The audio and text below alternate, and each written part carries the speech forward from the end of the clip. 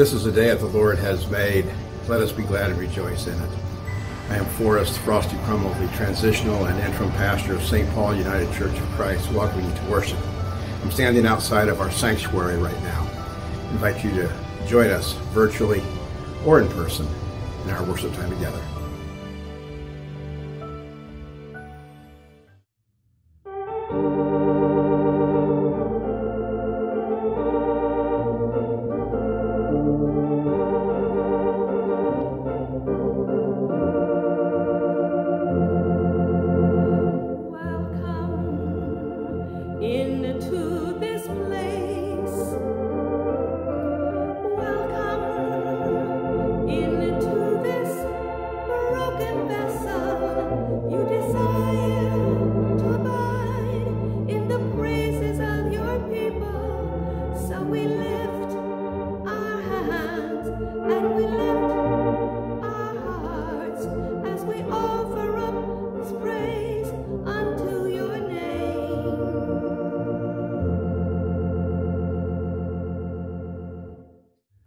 You join me in a spirit of prayer?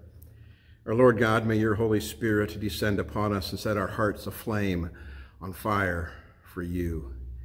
Give us the ears to hear, the eyes to see, and the will to do. In Christ's name, amen.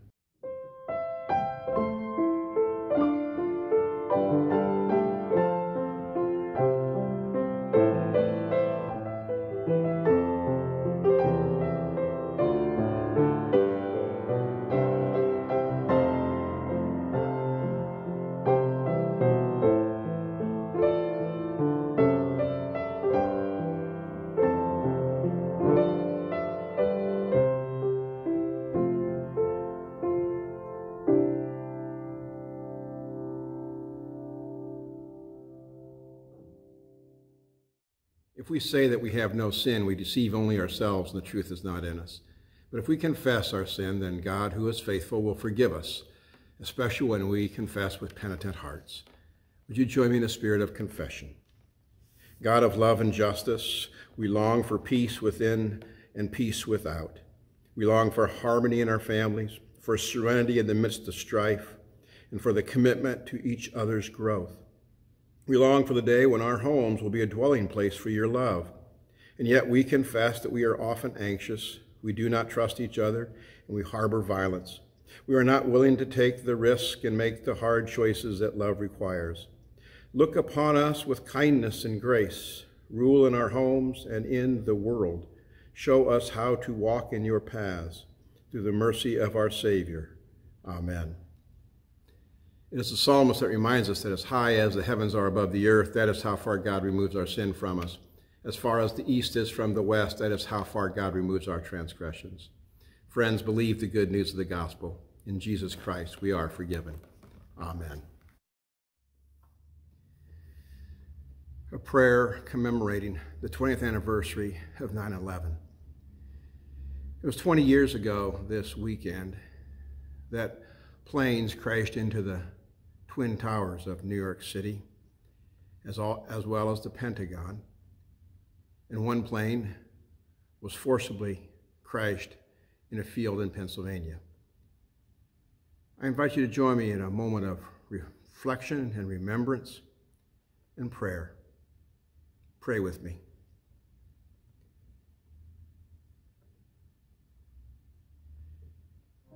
Lord God, we remember the stockbrokers and office workers, maintenance workers, bystanders, window washers, and all who work together so valiantly to help each other. We remember their great courage. We recall the firefighters who rushed in as other people were racing out. And we remember this, their selfless service.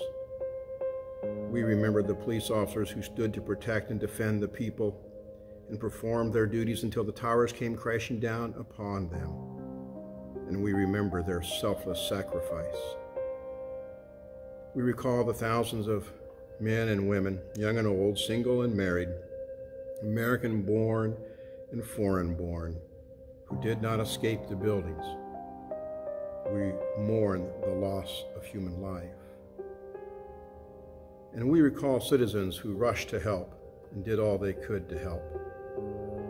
We remember and give thanks for the dutiful commitment of those in distress.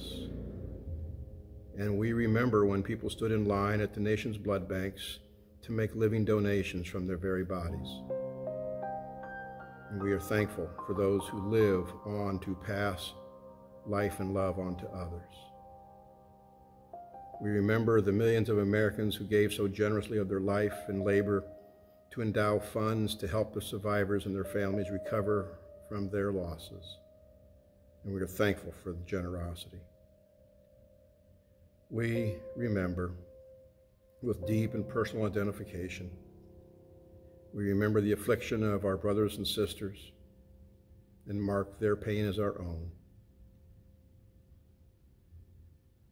Lord God, we also remember the words of the prophet Isaiah, who longed for the day when swords would be turned into plowshares and spears into pruning hooks, when the lion would lie down with the lamb, and when a child could play over the nest of the adder. And we remember the vision of John on the island of Patmos, who saw the day when God would wipe away every tear, and death would be no more. God of the ages, before your eyes all the empires rise and fall, and yet you are changeless. Be near us in this age of terror and in those moments of remembrance. Uphold those who work and watch and wait and weep and love. By your Spirit, give rise in us to broad sympathy for all the peoples of your earth. Strengthen us to comfort those who mourn and work in large ways and small for those things that make for peace. Bless the people and leaders of this nation and all the nations, so that warfare, like slavery before it, may become only a historic memory. We pray all of these things in the prayers of our hearts in the name of the Prince of Peace, Jesus Christ. Amen.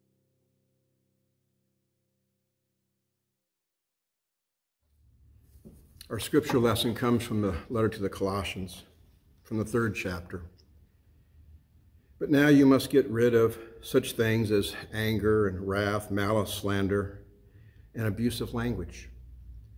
Do not lie to one another, seeing that you have stripped the old self with all of its practices from you, and having clothed yourselves with a new self, which is being renewed in the knowledge according to the image of the Creator. In that renewal, there is no longer Greek nor Jew circumcised or uncircumcised, slave or free, but Christ is all and in all. As God's chosen ones and beloved, clothe yourselves with compassion, kindness, humility, meekness, and patience. Bear with one another, and if anyone has a complaint against someone, forgive each other, just as you have been forgiven so that you must also forgive. May God add understanding to the reading of that word. Amen. Our sermon today is entitled, How Can I Possibly Forgive? And the text comes from the 13th verse of that passage I just shared with you. Forgive one another as freely as the Lord has forgiven you. Would you join me in the spirit of prayer? May the words of my mouth and meditations of all of our hearts be acceptable unto your sight, O Lord, and may those things said that are true be engraved upon every heart, and anything said that is false be quickly forgotten and cause no harm. In your name we humbly pray. Amen. One day, the disciple Peter came to Jesus with a question Lord, if a brother or a sister has wronged me, how many times must I forgive them? Seven times? And Jesus responded to Peter's question, No, not seven times, but 70 times seven. I imagine Jesus saw a surprised look on Peter's face as well as a bit of surprise among the other disciples because he went on to tell them a parable. There was once a king who had all of his accounts brought up to date. And in going over the accounts, he found that there was this one servant who owed a great sum of money, more than he could ever repay in his lifetime. The king called the servant in and asked about the account and the great debt. And the servant fell to his knees and begged the king for more time and for mercy. There was not enough time in a lifetime for that servant to pay the debt. But the king took pity upon the servant and took the ledger book and tore a page out of it, folded it up, and tossed it in the trash can and said, Your debt has been forgiven. Well, that forgiven servant went out and found someone else who owed him a small sum of money, saw him in the marketplace, and grabbed him by the neck and said, I want you to pay me right now every last penny. The servant, using almost the exact same words as the first servant, asked for more time. But this forgiven servant would have none of it. Put this man in prison until he has repaid every last penny. Now, when word of this got back to the king, the king called the first servant back in and said, Now let me get this straight. You owed me a great sum of money, a sum that you could never repay in a lifetime or your children's lifetime, and I forgave you. But then you saw a fellow servant in the marketplace who owed you a small sum, a paltry sum of money, and, and you could not find in your heart forgiveness. Reaching into the trash basket, the king pulls out the crumpled up ledger sheet and straightens it back out on the desk and tells the guards to put this first servant, the forgiven servant, in prison until he had repaid the entire debt. Then, speaking to the disciples, Jesus said, And so the Lord will do to you if you do not learn how to forgive one another. I've come to the belief that forgiveness is at the very heart of the teachings of Jesus. And yet, in life, we have been hurt and injured and damaged. And we oftentimes have to ask ourselves, how can I possibly forgive someone who has done this to me or to someone whom I have loved? I have to acknowledge up front that there are some things in this world that we are perhaps nearly incapable of forgiving. And at those times, we have to ask God to give us the strength and the courage to forgive. And there are some things in this world that we will never understand on this side of the grave. But in all things, God works together for the good for those that love him and that are called to his purposes. Lewis Smedes, a, the late Lewis Smedes, a professor at Fuller Theological Seminary, wrote a book on forgiveness. And in that book, he outlined four elements of forgiveness, four steps that we can incorporate in learning how to forgive. The first step is to acknowledge the fact that we have been hurt. We have been wronged. We did not deserve it. It should not have happened to us. The second step is to assign blame, to acknowledge the fact that someone else hurt us and that they have wronged us, and that we as a child of God did not deserve what had been done to us. But whether they confess or not what they have done, it doesn't make any difference. Because while we may have been a victim of a wrong. We don't need to be victimized.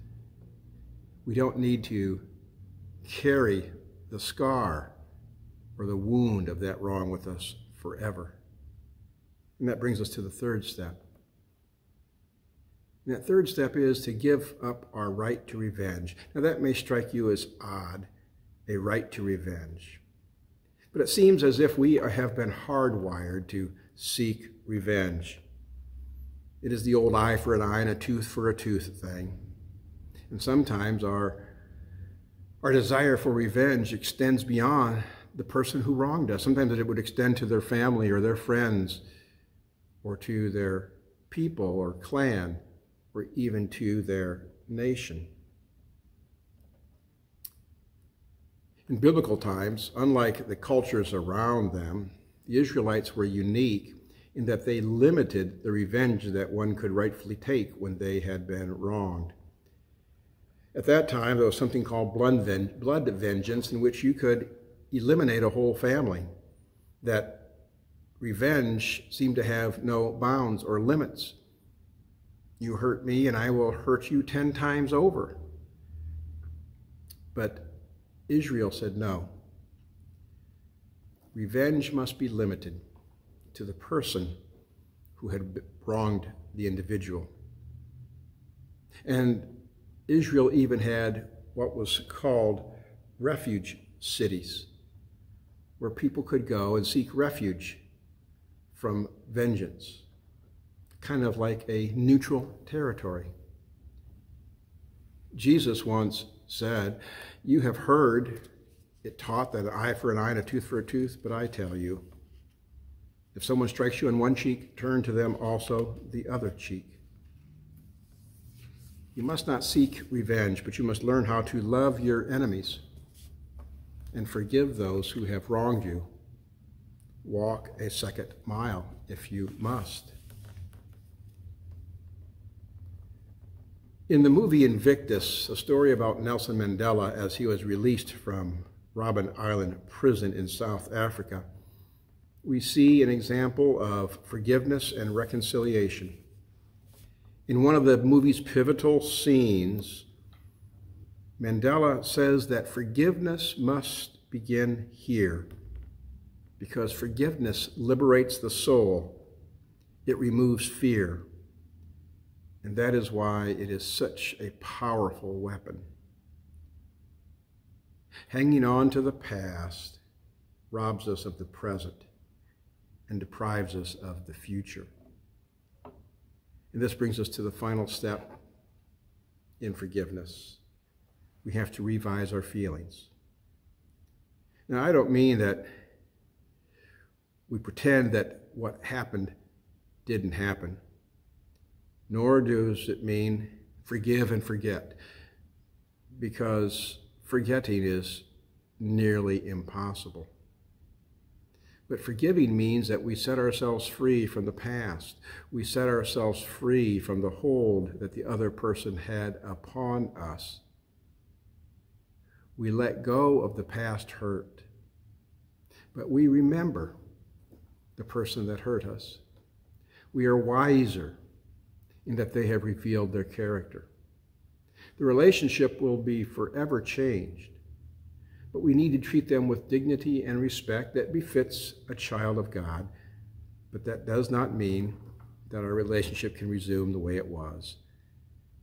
Because, like fine china, once the relationship has been broken, it can never be fully mended to be like it was before. Years ago, I was hurt by someone very, very deeply. And I thought that I had moved beyond it. But then I get an email out of the clear blue sky. It was an email asking for forgiveness for an event that had haunted that individual. Reading that email brought back all kinds of feelings and emotions.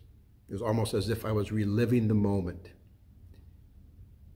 And then I remembered the the words that I oftentimes use in the charge forgive one another as freely as God in Christ has forgiven you. And I wrote down a one word response forgive. Forgiven. And then, without thinking, it was almost as if my body had been possessed by someone else, as if my arm had been possessed by another. My index finger hit the send button before I even knew what happened. And it was over. The relationship was not what it was, nor has it really ever been restored through time and distance. But I'm no longer captive. I hope you can find in your heart forgiveness, that you can ask God for the strength and the courage to forgive, as freely as God in Christ has forgiven each and every one of us. And in that forgiveness, may you find freedom today and tomorrow. To God be the glory both now and forevermore. Amen. Would you join me in a spirit of prayer? Lord God, in this world so filled with brokenness, we ask that you give us the spirit of forgiveness, the courage and the strength that we need to have, Let us put past hurts behind us and let us live every moment in the present and look forward to the future that is held in your hands. Answer all of our various and sundry prayers. Heal the sick. Be with those who mourn. Be with those who find themselves in difficult situations. You know our hearts better than we do. You know our prayers before we can even offer them. Answer our prayers according to your will, but most importantly, Lord, make us perceptive to your will as we go about the living of our lives. In Christ's name we humbly pray. Amen.